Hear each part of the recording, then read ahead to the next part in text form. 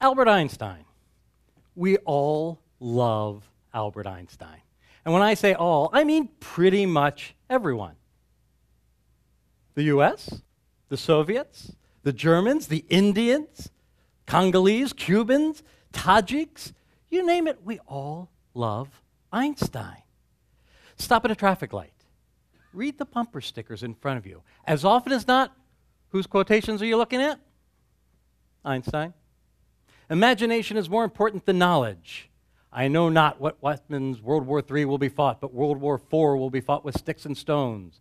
Great spirits have always encountered violent opposition from mediocre minds. And my favorite, only two things are infinite the universe and human stupidity, and I'm not sure about the former. so, what is it we love about Einstein?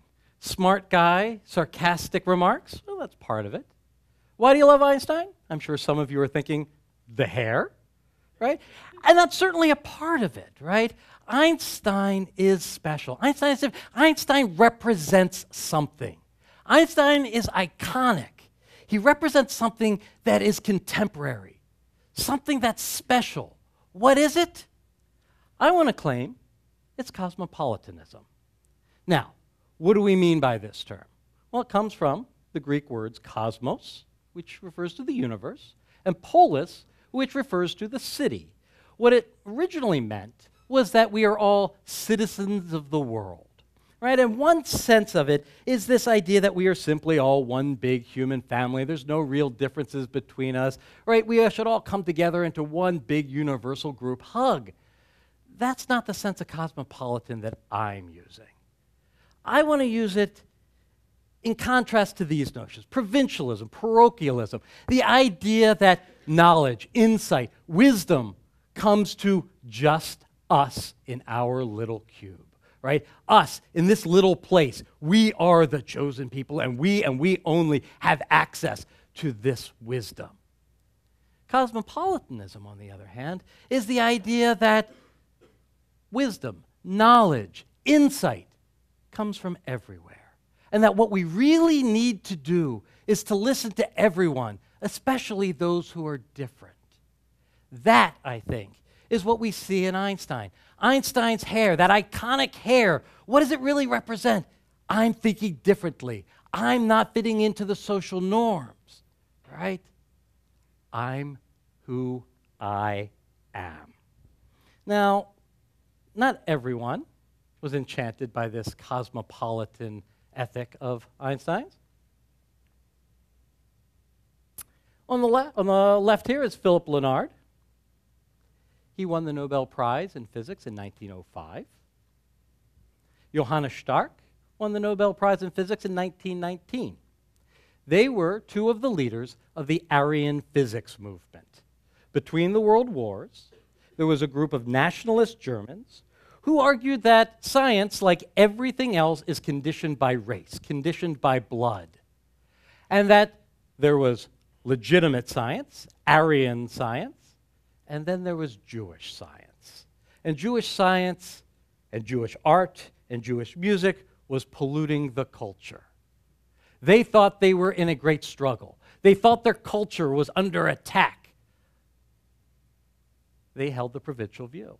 They had unique access to truth. Einstein threatened that. And so they called the theory of relativity Jewish science in an attempt to denigrate it. Well, this leaves us two questions. Are they right? Was Einstein's theory of relativity really Jewish science? And the second is, well, were the Nazis right to be afraid of it? That first question is a tricky one, in part because it requires understanding what this phrase Jewish science means. It's not very clear. Does it mean science by a Jew? Was Einstein a Jew? Well, he thought so. The Nazis thought so. Ask any Jew today, they think so. Of course, they all mean different things by the term Jew. Is it science that comes from Judaism? Science that comes from Torah or Talmud? Well, turns out no. We know who Einstein was reading. We know he was looking at the work of physicists like the Dutchman H.A. Lorentz, the Frenchman Henri Poincaré, the German uh, Ernst Mach. None of them were Jewish. So, in that sense, no, it wasn't. But were the Nazis right to be worried about it? Yeah, they were. Right? Because for them, this notion of Jew wasn't just non German, it was anti German. Right? Jews are a strange people in that if you think about how the world was before the founding of the modern state of Israel, Jews represent a challenge to the very categories by which we made sense of the world. Right?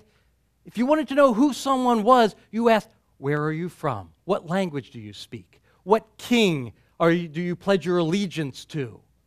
What church do you go to? Jews were strange, right?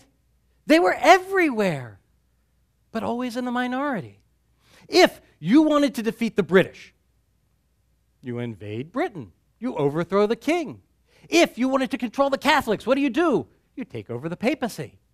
If you wanted to control the Jews, where would you invade?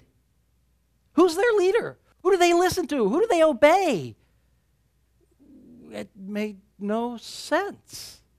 Jews undermined the very categories by which we made sense of the world. And for that, they were particularly dangerous because they were outsiders. The German word that Einstein would use was Einspanner, right? He is outside of the culture. Now, being an outsider puts you in a weird position. See, if you're in the majority, if you have the power, what you get to do is define the concepts. You get to make the language, make the categories through which we see the world, and you force everyone to see it your way. So if you're in the minority, if you're the outsider, you have to see it their way.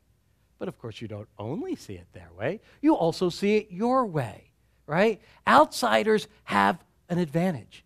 They see things more than one way. So they can see answers, they can see approaches that other people don't see. But if you're convinced of the provincial truth, that we alone have the right way, then those outsiders are perverting the truth. And so they're really dangerous. Why?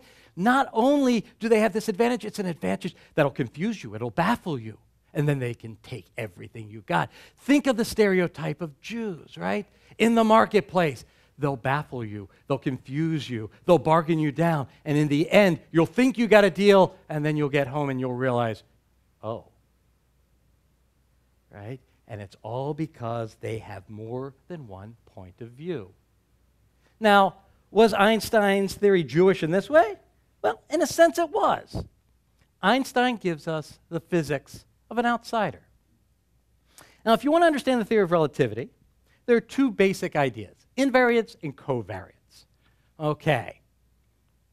Suppose I were to ask you, is this clicker to the left or right of the hand? You would say, to the left. And I would say, You're kidding me. It's to the right, right? That's covariant, right? There is a fact as to whether it's to the left or the right, but it depends where you sit. For you, it's to the right. I'm sorry, to the left. For me, it's to the right. Now, if someone out there said, oh, it's to the left, they would be wrong, right? So there is a fact of the matter, but the fact of the matter depends on where you sit. Now, suppose I ask, is it between the hands? Now, it doesn't matter where you sit. That's a fact. That's an invariant truth. And what Einstein did was to show that certain things that we thought were true duration, length, mass, energy, things we thought were simply unique, objective facts of the world were actually covariant. They varied with your reference frame, with your viewpoint, right? So, how long is this? Well, it's about three inches. So, no matter where you are, no matter how you look at it, it's three inches, right? What Einstein said is when I'm walking straight at you and you measure it, if I'm going very fast, you're going to measure two inches. I, because I'm at rest with respect to it, will still measure three inches. So, which one of us is right? Is it two or is it three? Well, just like to the left of or the right of, it's a function of perspective. What was the time difference between those snaps? That was a second. Well, if you're moving, Einstein argues, that time is going to stretch, right? So for me, who's at rest with respect to my hand, it will always be a second. But for you, it may be a second and a half. Well, which one of us is right? Well, there's right in a viewpoint. It's covariant.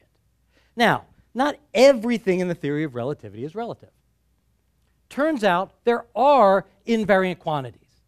So if we take distance and we take time, each of them is covariant. But we can add them together in a particular way to get what we call the space time interval. And that's going to be the same for everyone. It's a four dimensional measure. Now, we all live in a three dimensional world with a one dimensional time. So we can't experience directly this four dimensions, but we can compute it. And we all compute the same number. So even though each of our individual experiences will differ, there are going to be ways of putting them together that get you to a universal truth. And in this way, we do see a Jewish science, a cosmopolitan science. Now, Einstein points this out not only in his science, but in his other writings on ethics, politics, peace, education. Einstein wrote on issues across the spectrum, and always it was from the perspective of an outsider. Never making the claim that he had unique access to absolute truth, but always as somebody adding another voice. And with that extra voice, we get some sense of insight that we might not have otherwise had. Now, the outsider has it tough. You have these insights, but you're generally not allowed to share them because they are not the insights of those with the power. And so we end up with a conflict, a problem, something that in Einstein's time was called the Jewish problem. And this was discussed by non Jews and Jews alike. The question is look, this is their place. They have the power, they have the control. We're just here. What do we do? How can a minority live in someone else's home when this is our home? And there were two approaches. The assimilationists said, well, we'll just become them. They won't bother us if we're like them. So we'll give up what's special about us. We'll give up what's our own personal deep identity, and we'll assume their identity. Well, clearly there were concerns by those who thought, well, there's something meaningful about who we are. And so, on the other hand, we had the segregationists who said, look, they are how they are. They have the control, so what we will do is we will establish our little zone. And in this walled off little city, we can just be us. So they'll leave us alone if we just stay in here. And so there were long conversations between these two groups. Should we give up who we are to fit in? Or should we stay who we are and separate ourselves off? Now, this conversation was one that Einstein just detested. And he came up with a third way. Both of these views make an assumption, an important assumption that he sought to undermine. Both of these assert that they, the majority, control the culture. It never occurred to them that maybe we could change that. Maybe we could share. And what Einstein did was bring a revolution in physics. Physics, which captures our imagination, right? Immanuel Kant uses the term a Copernican revolution to describe his change in philosophy because changes in physics change how we see the universe, how we see the world, how we see everything. Einstein changed physics. And with the change in physics came changes in everything else. He's writing at the same time that we see changes in art, changes in music, radical changes in politics and economics. What Einstein represents by changing the way in which we see space and time itself, is the way we see everything. What Einstein represents is this notion of intellectual cosmopolitanism, that each of us has a perspective that has some access to insight. All of us Einstein could be any of us. Einstein could be a woman. Einstein could be a Hindu, an Arab, a Jew. Einstein is all of us. And we all love Einstein. Why? Because Einstein lets us be us. Thank you.